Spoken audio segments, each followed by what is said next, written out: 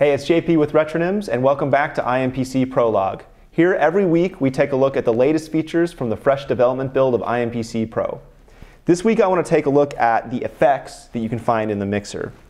So we're back here on the mixer page, and basically, you know, we've looked at the mixer before. Uh, I've shown how to send reverb and delay and chorus to the effects, and this week I want to take a look at how to actually tweak those effects. Okay, so first I'm just gonna like uh, solo these drum tracks here to get a, a kind of cleaner signal. And I'll tab to effects. You know, basically a lot of the pages have two modes to them. So, you know, program, song, all these things have multiple modes. Uh, so in the mixer is no different. You know, we have a effects page, so I'll tab to that. Uh, and basically here we have a boom room, reverb, echo, delay, whirl, chorus flanger, and an inter-app effect, which I uh, will talk about a little bit later. Uh, so uh, let's go and add some reverb to the drums here. So basically now you can see it's sort of responding to that. And like on the top row here, uh, every effect kind of has the same thing where there's a power switch. You can turn it off real easily. Uh, and a return. So these effects are send effects. They're basically sending to varying degrees from each mixer channel into the effect the signal is routing through the effect and being returned back into the mix. So the return knob sets how much uh, is actually returned. So you can dial it down across the whole mix.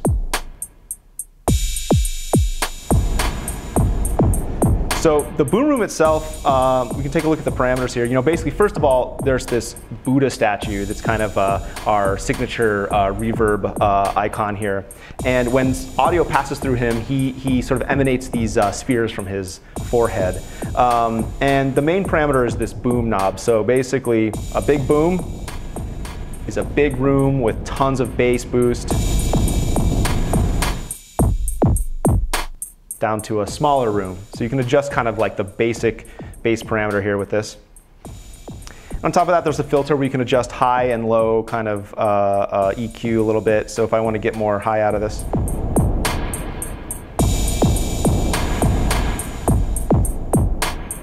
And then pre-delay, which is basically kind of the first bounce back from the wall you get. Uh, I can turn down the mix here so you can hear it a lot.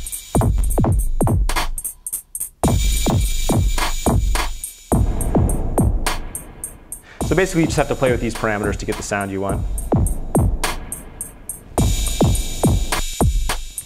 I'll turn that off for a second and uh, add some delay. So uh, a lot of you are probably familiar with delay. It's basically just a, a clean uh, sort of musical echo. Um, this is a tempo syncable delay, so I can either have it on sort of arbitrary seconds or tempo. Right now it's set to tempo. So I can go down to 64 notes or a 30 second note here. Feedback obviously is the amount of time this rings out. And dampen is a filter over time. So if I turn that up, you can hear it, you know, it's like filtering out.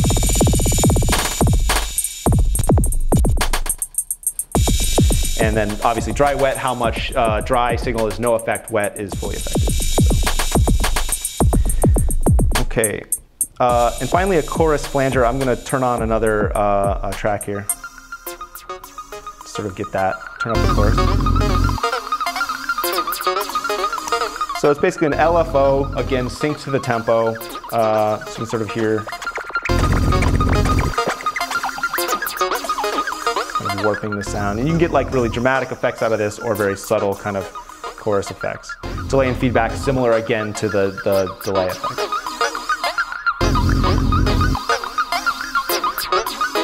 Okay, so, and finally, uh, I'm really excited about this. We have an inter-app effect. This is just one of many inter-app audio uh, uh, techniques we're supporting in IMPC Pro. Uh, this is the first one we're showing here in IMPC Pro Log. Uh, so I'm really excited about that. Basically, uh, you can just tap this to add any third-party standalone effect unit app that you want. I've got two installed here, um, and I'll just select this Swoopster. And then back in your mix, there's a new knob here. So once you've added an inter-app effect, you have an inter-app uh, effect send. So I'll go ahead and turn this up.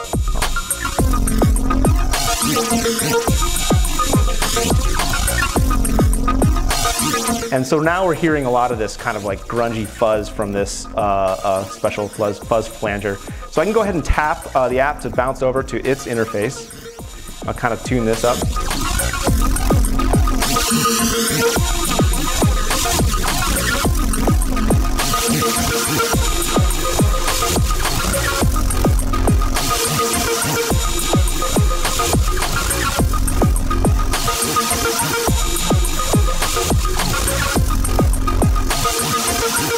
So now I can just tweak my mix further.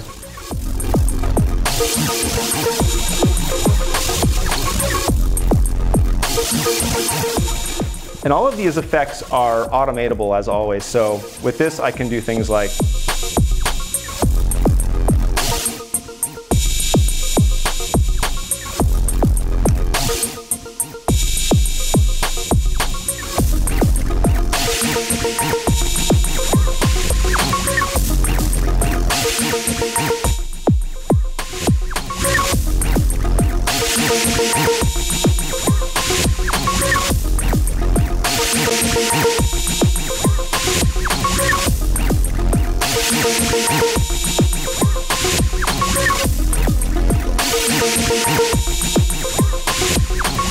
Okay, so that's it for the effects. Uh, hope you enjoy this and join us next time.